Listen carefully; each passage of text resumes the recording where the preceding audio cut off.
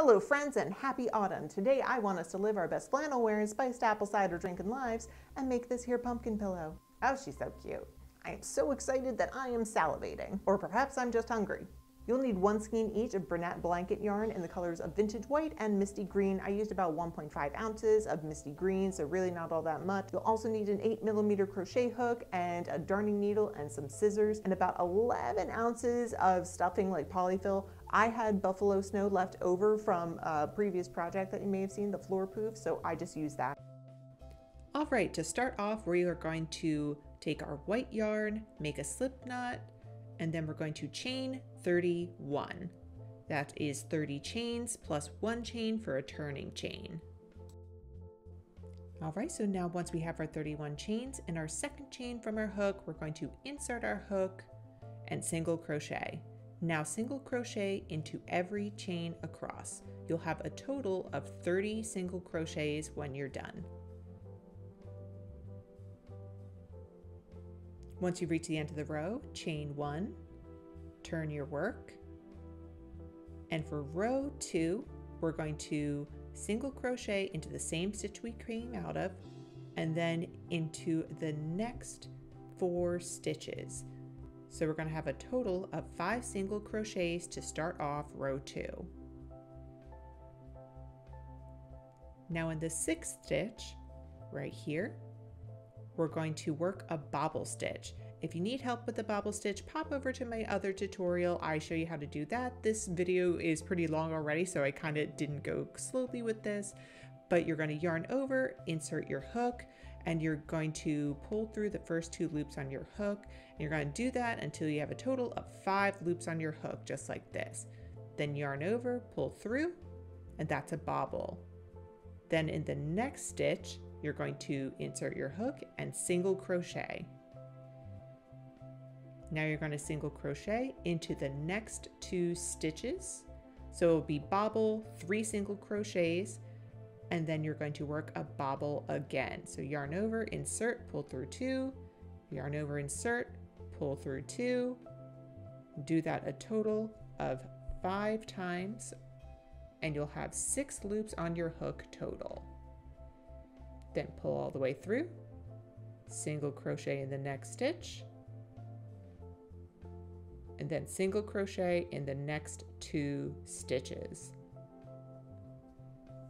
And then repeat again. You're going to bobble stitch,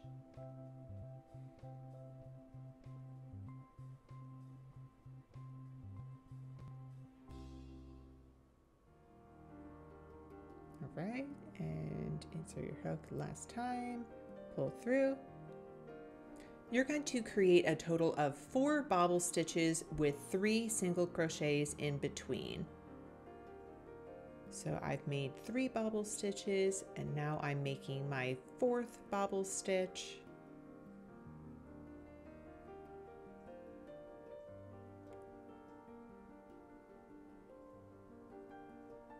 Almost done. There we go. Pull through.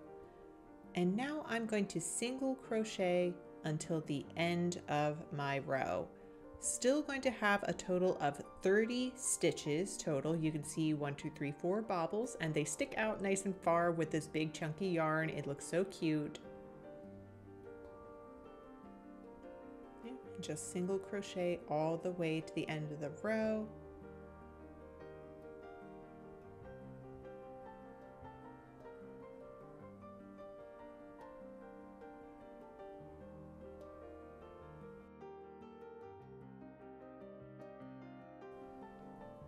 All right, and here is what row two looks like. You can see we have our four bobble stitches. They look so cute with three single crochets in between. So now at the end of row two, I have chained one, turned my work, and we're going to single crochet all the way across. Again, we're gonna have a total of 30 single crochet. This just gets us back to the same starting point so we can do another row of bobbles on the other end, but you gotta reset like a typewriter. All right, when you reach the end of your single crochet row, three, chain one, and single crochet, single crochet again. And you're gonna start off row four with a total of seven single crochets in the beginning.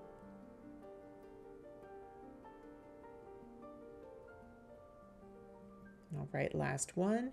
Then after you make your seven single crochets, you're going to bobble stitch in the next stitch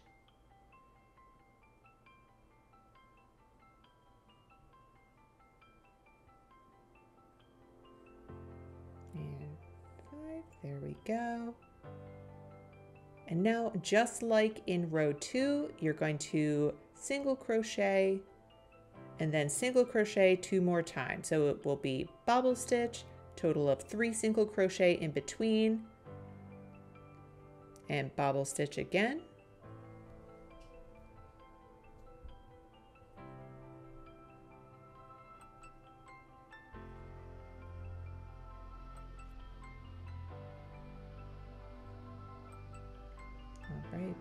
Bobble.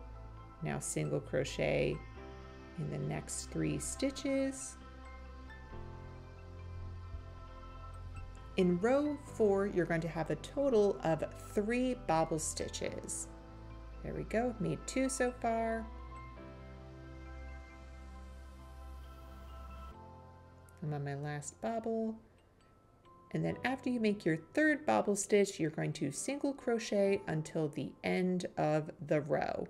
Again, you'll still have a total of 30 stitches.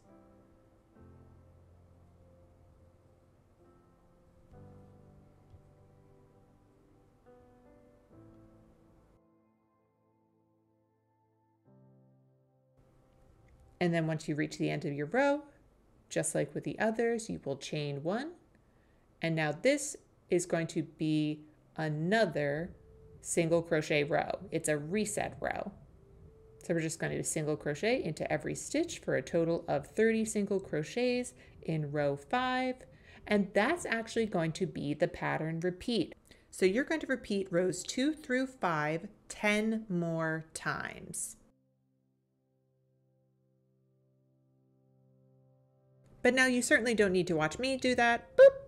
So we're gonna skip ahead. Oh, look how cute. I finished my base. We have 11 total repeats of that pattern, 10 after the ones that we did together. And it looks adorable. Surprise! It's me! If you like this video, please go ahead and give it a thumbs up and subscribe to my channel. Turns out only about um, 20% of people are actually subscribed to my channel that watch my videos, so that feels really uh, cool. So uh, let's go make a pumpkin pillow. Love you, bye. All right, so now that we have finished the base, I'm just gonna weave in all of the ends that I have so it's nice and clean. And we're gonna be left with this. So I'm going to turn it inside out and flip it over so the two short sides are lined up. Now I'm just gonna take a length of yarn, my darning needle, and sew back and forth to join the two short ends together.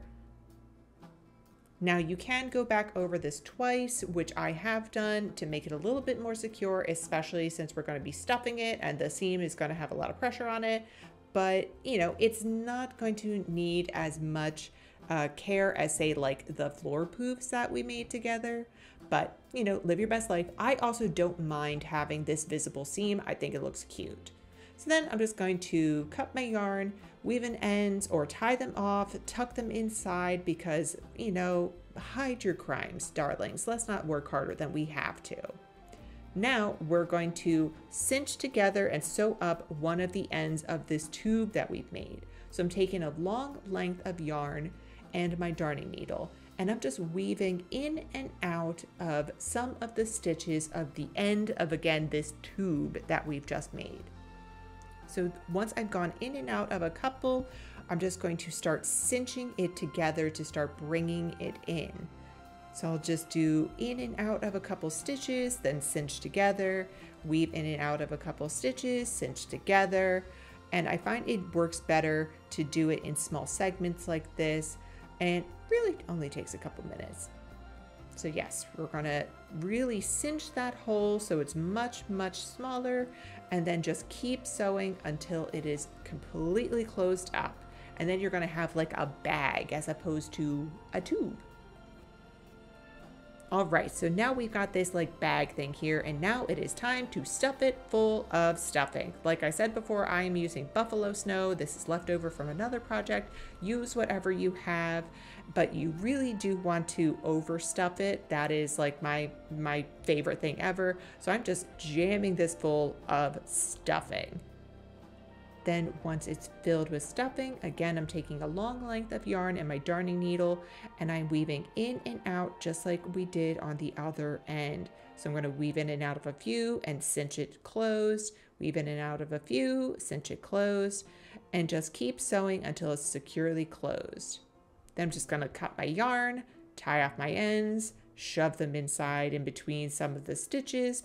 Now for the next part, take a long length of yarn and your darning needle and sew directly down through the middle of the pumpkin, leaving the end of the yarn hanging out the side where you started.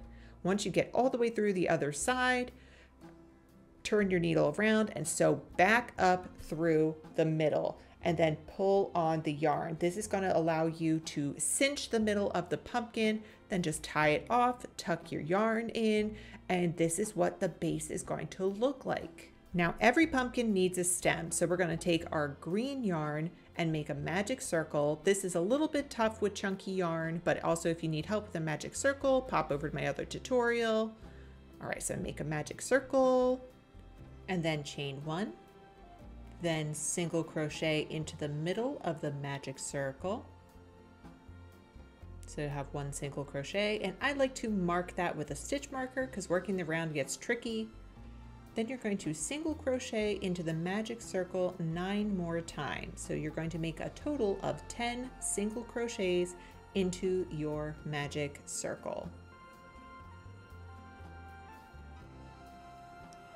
Once you have made 10 single crochets into the magic circle, pull on the tail so everything gets all nice and tight and closed up, and then slip stitch the end to the beginning, then chain one to start round two. Round two is going to be pretty much the same as round one, going to single crochet into where I just came out of, and then I'm going to single crochet into every stitch around. Now I do like to mark the beginning, the first stitch I've made in round two with the stitch marker, because again, working in the round gets a little tricky. But yes, just single crochet into every stitch around, so you'll have a total of 10 single crochets in round two.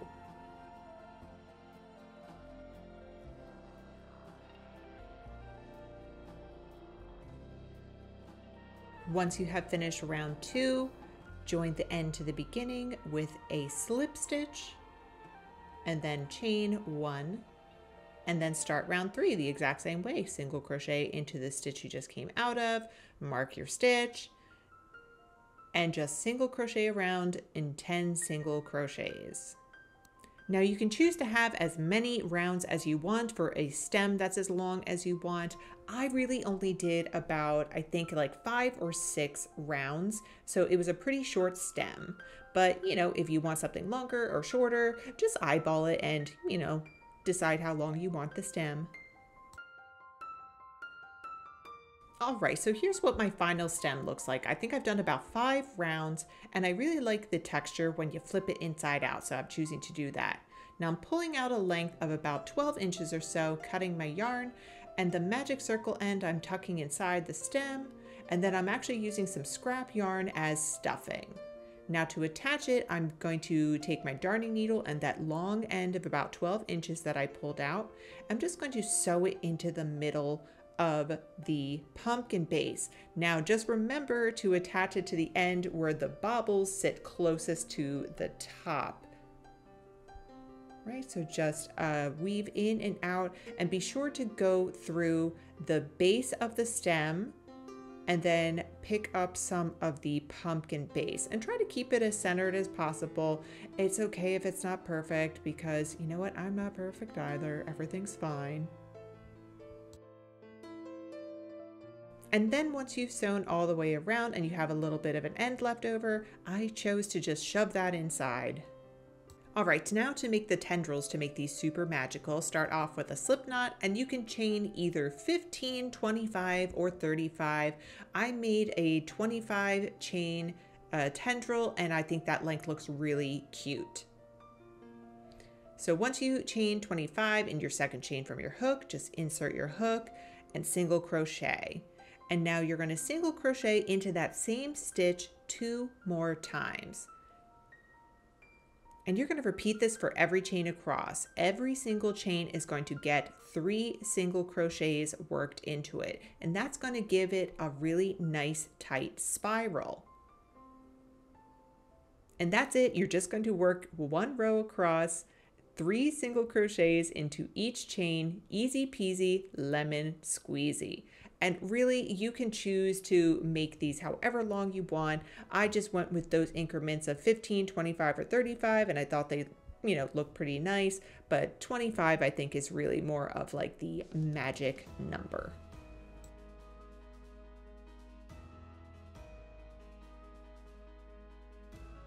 All right, after you work three single crochets into each chain, you'll get something that looks like this. Pull out a long length again of about 12 inches. You're gonna use this to sew it onto the pumpkin.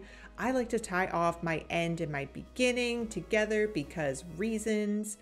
And I'm going to just thread my darning needle with one of those ends, the longest end and use that to stitch it onto my pumpkin right at the base of the stem. I'm just going to go in and out and loop it through my tendril as well. There's really no wrong way to do this. There we go. Could be a little tricky to get through some, but you got it. Just use your instincts. It's it, it you really can't mess this up.